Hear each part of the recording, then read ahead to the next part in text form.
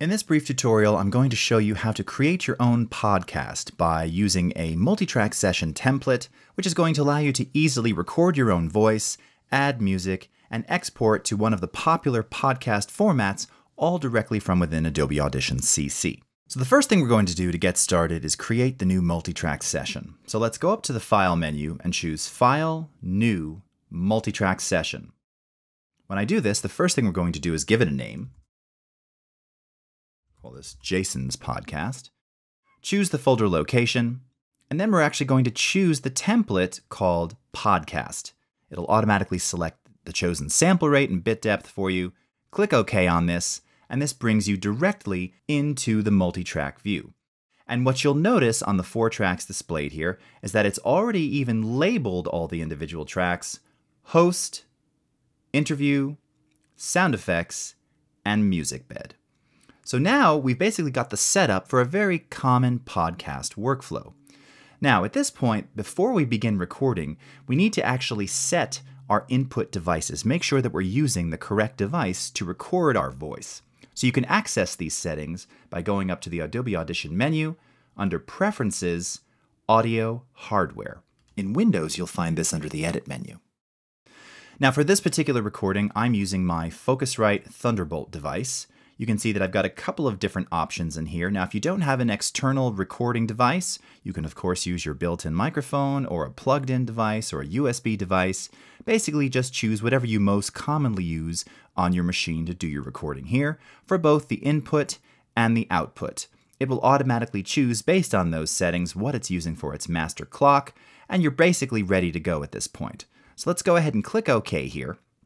And we're going to navigate to this little field here, inputs and outputs at the very top left of the track headers, because we want to make sure that we're going into the correct input.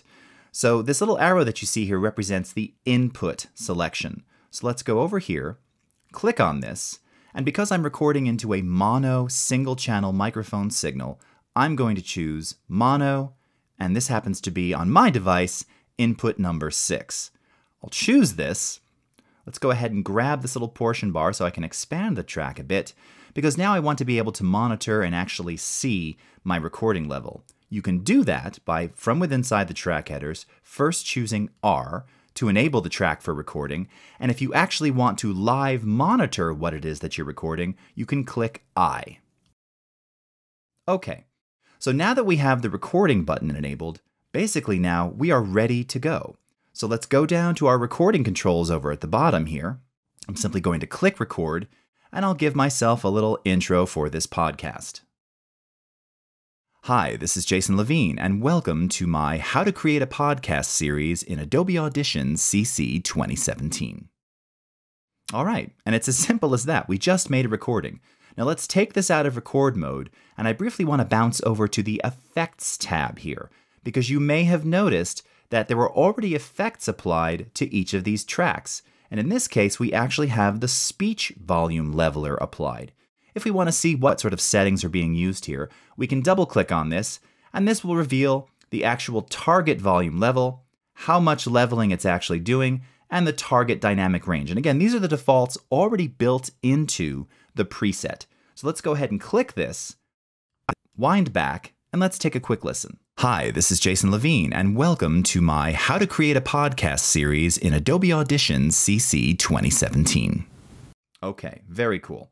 So at this point now, we actually want to add our music. Well, I happen to have a music bed that I've already loaded up, so I'm going to take this file from the Files panel, drag it into the music bed track, and now play them together. Now, you'll notice that there's a hard limiter applied to that music bed. And again, we can expand this just to see a little bit more of what's happening there. If I double click on the hard limiter, this is showing me that this is allowing this music to peak at minus 0.1 dB. Now it's not giving it any input boost, but the key here, and the thing that I want you to understand, is that this music might be a little loud. So we may need to make some volume adjustments before we actually export this for our podcast. So let's first just play it back as it is and take a listen and hear what it sounds like. And then if necessary, we can simply attenuate or drop the volume by adjusting the volume right here on the track. Let's take a quick listen, and I'll actually make the adjustment if need be as it's playing back. Here we go. Hi, this is Jason Levine, and welcome to my How to Create a Podcast series in Adobe Audition CC 2017. Okay, sounds pretty good actually, and you see I just dropped that around 6.9 dB. Now, this is a very simple implementation, and if we had another additional speaker or someone else that we were interviewing, we would go back to our inputs and outputs, we would set the appropriate input of wherever their microphone is located, and we could begin recording them as well. You can naturally record multiple tracks simultaneously from multiple inputs simultaneously. And your sound effects here, this is where you'd start to add the kinds of sound effects and sound design that you typically hear in well produced podcasts. Now, one other thing that I want to point out that can really help you when you're trying to really make this sound professional is something known as topping and tailing, or more importantly, fading in and fading out wherever there's silence. So at the top of the clip that you see inside of the track here, you'll see that we have these little icons. These are actually fade handles. And if I grab this with my mouse, you'll see that you have the ability, non-destructively, to create a fade right on this clip. So it's going to fade in right before I start talking, and then it'll fade to silence right after I stop talking, and this just kind of keeps things a little bit cleaner and a little bit nicer. Now, because this music goes a little bit longer, maybe we want to adjust the duration and let it kind of fade out a bit more gradually. So I'm simply going to grab the rightmost edge here and drag it to around, uh, let's say around 12 seconds, and then, or maybe even a little bit shorter here, because ultimately I want this music to fade out. So once again, I can grab this handle here, and you can see you can go from something very linear to something a bit more sinusoidal very, very quickly, something like this. Fade out the music. Let's go ahead and wind this back and hit play again. Hi, this is Jason Levine, and welcome to my How to Create a Podcast series in Adobe Audition CC 2017. All right, very simple, very, very easy. So at this point now, I'm going to go ahead and save this. I'll save the changes that I just made by going up to File, Save.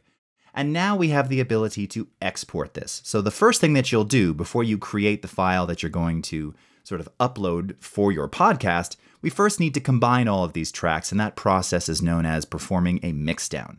So from the File menu, we'll go to File, Export, Multitrack Mixdown, Entire Session. Once again, it'll ask us for a name. We can place this on the desktop.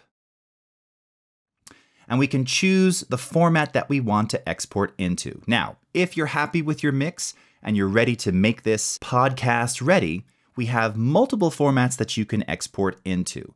The most common would be MP3. And you'll see if you go to the bottom of the list here, we can choose MP3.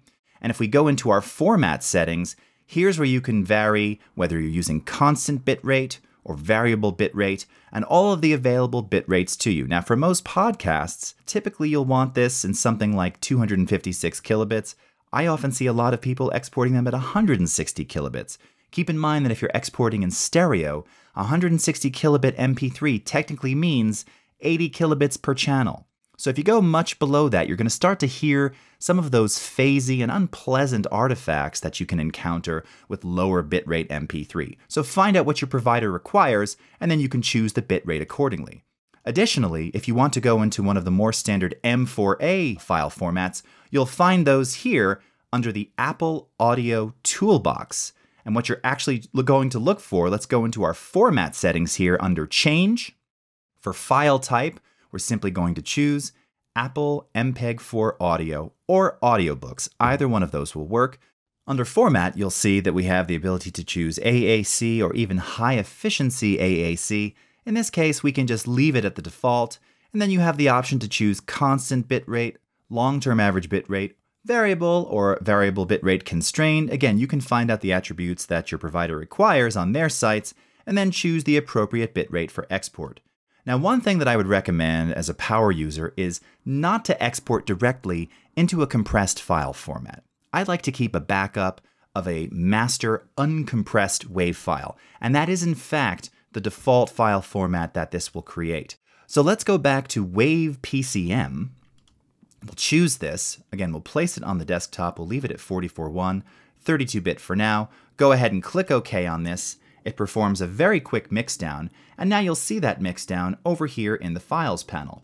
So this is just a good way to kind of verify that you have a master uncompressed file, and this is something that you can archive and you know that this is of the highest quality. And let's just play this back real quickly. Hi, this is Jason Levine, and welcome to my How to Create a Podcast series in Adobe Audition CC 2017. Now, one last thing you'll want to do before you export your final file is add some metadata. And if you don't already have the metadata panel exposed, you can find it under the Window menu, Metadata. Now, I happen to have mine docked off on the left side here. So let's go back over to my metadata panel and here's where you can simply add those ID3 V2 tags that you're familiar with whenever you've created previous MP3s. Title, artist, album, comments, genre, all of that information will populate this file. So when you export as MP3 or M4A, all that rich metadata lives with the file as well. So now if we like this, and this is exactly what we want to deliver, this is finished, we can go up to File, Export, File, and now we'll choose MP3, or if we wanted to go to that M4A file format, let's choose over here. We'll go into Format Settings, and let's choose Apple MPEG-4 Audio. AAC, let's maybe up the bit rate to 160 kilobits. Click OK there. You'll see now you're creating an M4A file. Click OK on this. It exports the M4A, and you're done. So very quickly, we were able to create a multi-track session using the podcast template, record our voices and select our input devices, add a music bed, add non-destructive fades, export the mix down, bringing the master wave file into the waveform view, and then from there exporting to the chosen or appropriate file format, whether it's MP3, M4A, or any of the others supported inside of Audition, to create an awesome sounding podcast recording.